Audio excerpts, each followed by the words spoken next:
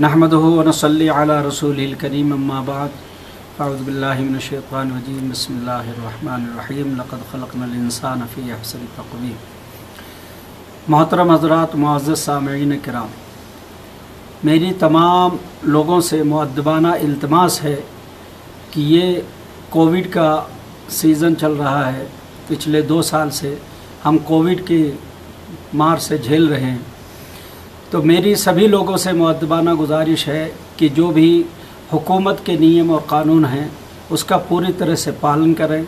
Administration का पूरी तरह से साथ दें। अपनी मनमानी ना करें भीड़ भाड़ ना करें।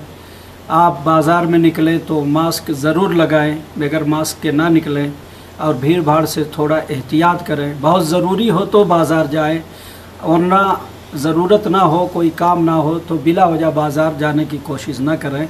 अपने घरों में आराम से बैठे रहें। अपने आप को भी सेफ़ रखें, अपने फैमिली को भी सेफ़ रखें और बाकी तमाम लोगों को भी सेफ़ रखें। क्योंकि ये बीमारी एहतियात ही से, इस बीमारी से बचा जा सकता है।